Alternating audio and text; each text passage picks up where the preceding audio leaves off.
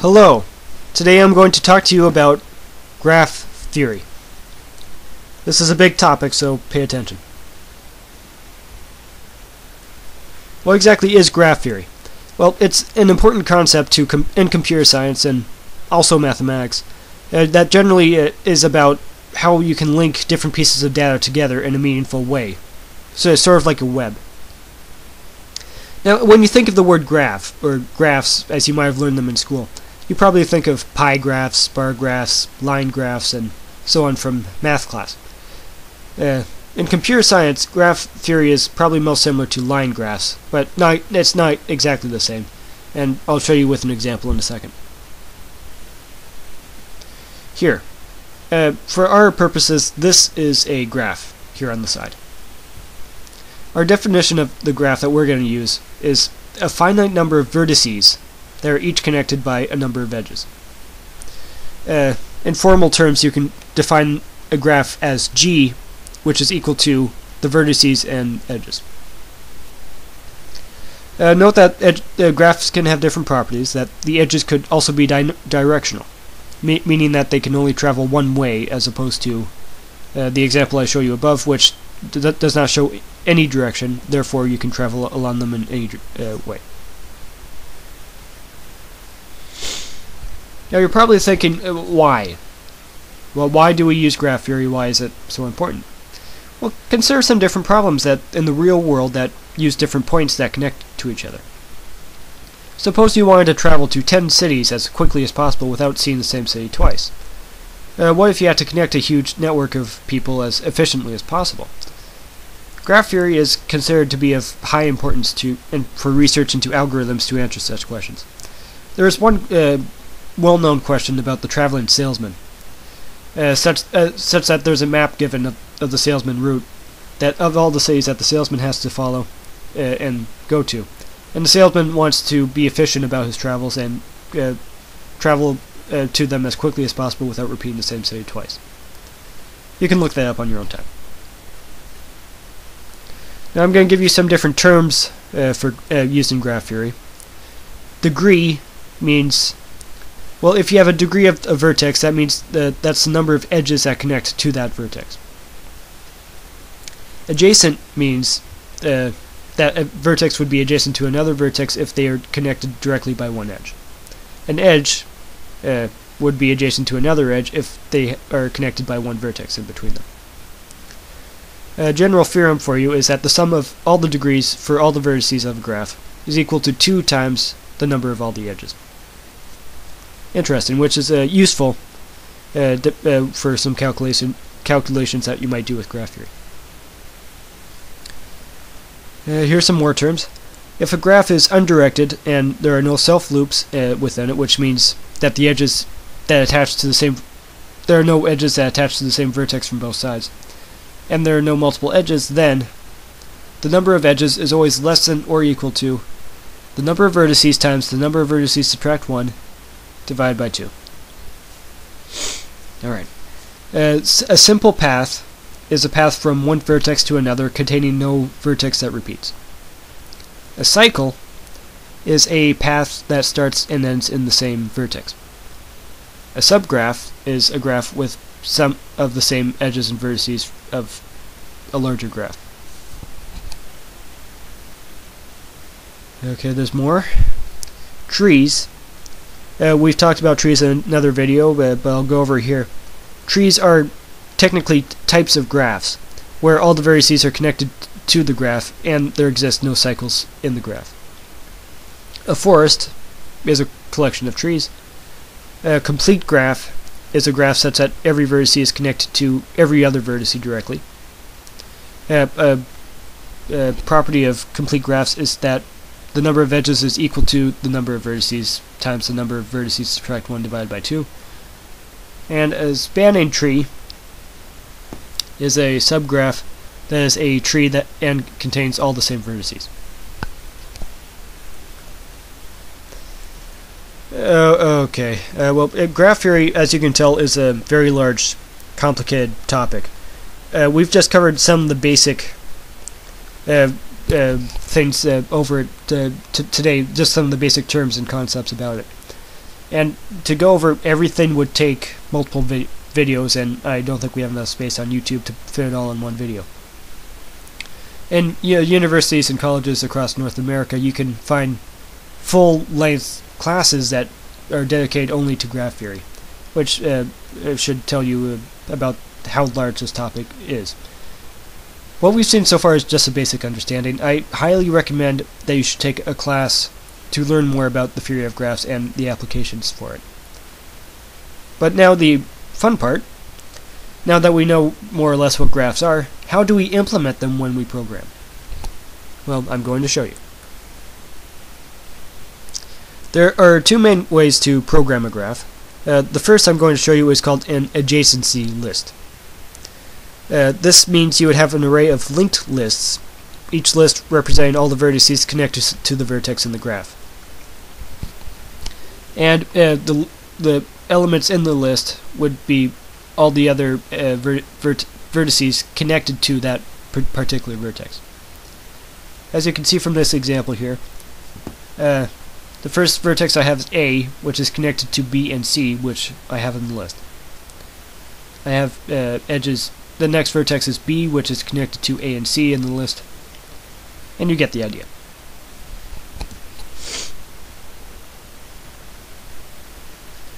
Okay, uh, uh, second ex uh, way of uh, representing graphs is in, in the adjacency matrix.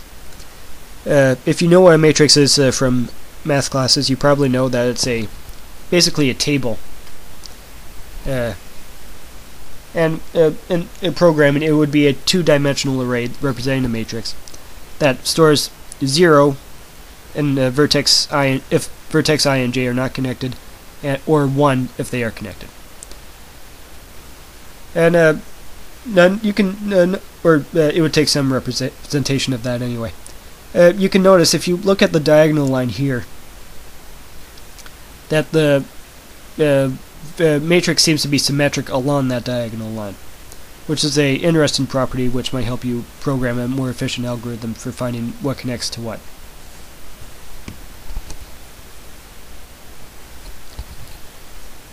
Now, there are some different uh, algorithms you can use to uh, in computer programming.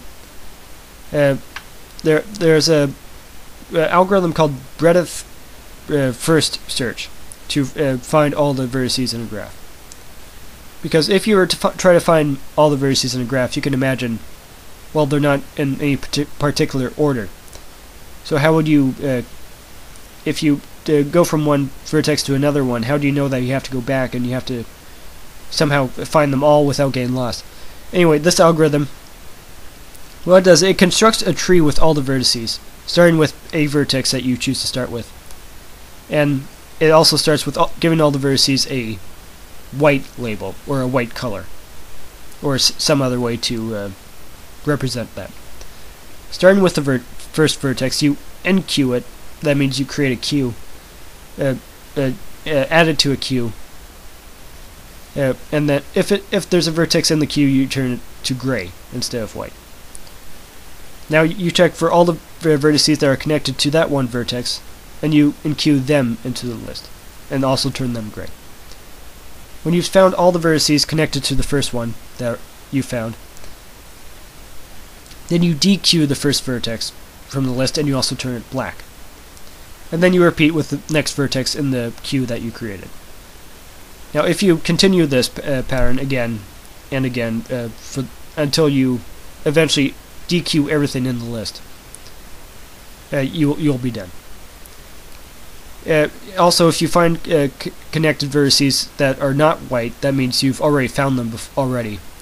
Then you do not, not add them to the list because you don't want to re repeat yourself and go do this indefinitely. Uh, here's a basic uh, pseudocode uh, for it uh, to give you a general idea of it.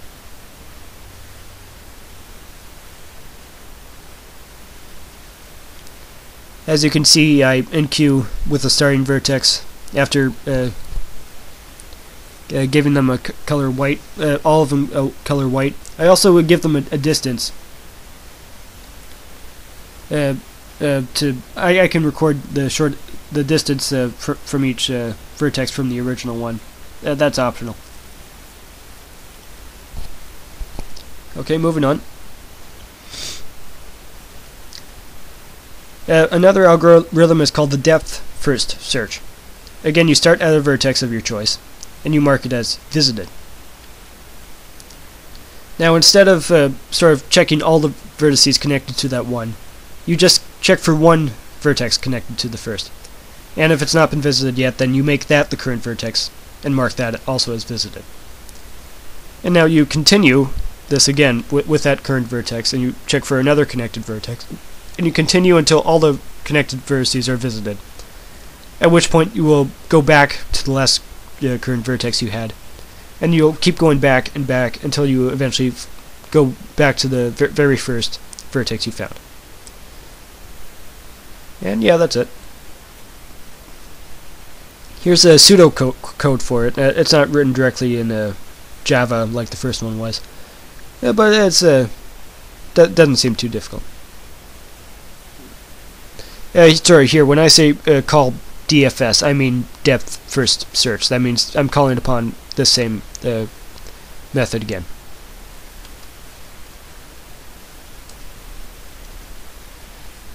Okay. Now another topic is a minimum spanning tree. A weighted graph uh, if, if a graph is weighted, that means that it contains numbers that represent weights for the edges of the graph. Uh, a logical uh, application of this, you can imagine a shortest path algorithm that also considers the distance between two vertices, as opposed to the number of vertices uh, in between. A minimum spanning tree uh, contains all the vertices, vertices of a graph, with the minimum weight uh, of the edges connecting them. How would we find such a tree? Well, there's an algorithm by a man named Prim, by uh, uh, Prim, who helps define a minimum spanning tree. And here it is.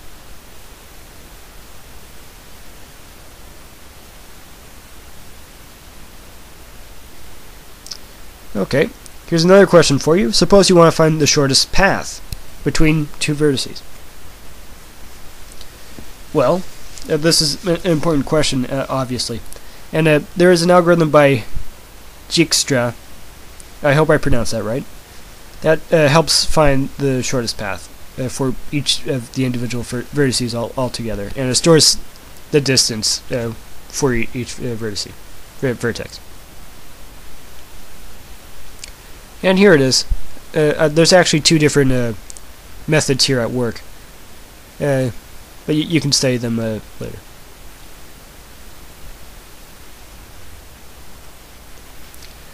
Now, uh, I've showed you a bunch of uh, algorithms. Are these the only algorithms for these types of problems?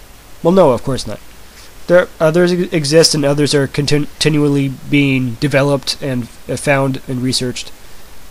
It's a the graph theory is a really big topic. It's a vast field in computer science and mathematics. And so I highly recommend uh, to pursue, pursue this in further learning, practice, and study uh, to best understand it. it. It might be complicated, it might be large, but it is important, and it, you might find out it's worth your time. Well, thank you for your time, and I hope you learned something. Uh, thank you for watching.